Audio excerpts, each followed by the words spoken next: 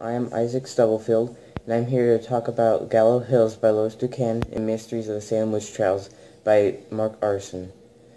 Both books, in my opinion, were very good books, but I prefer one over the other.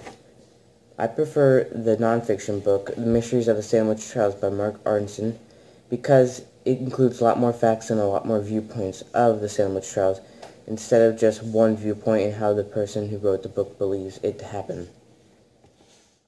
Uh, Mysteries of the Salem Witch Trials also includes much more facts about the witch trials and much more in-depth research within the trials.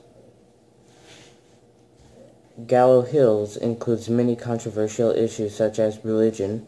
There are Christians in the book, there is someone who believes in reincarnation, and someone who doesn't believe in anything. These all play into a factor of someone being accused as a witch, as the person who doesn't believe anything is accused to be a witch by the Christians. Sometimes I just prefer fact over fiction, and this is one of those times. I do prefer Mysteries of the Salem Witch Trials over Gallows Hill.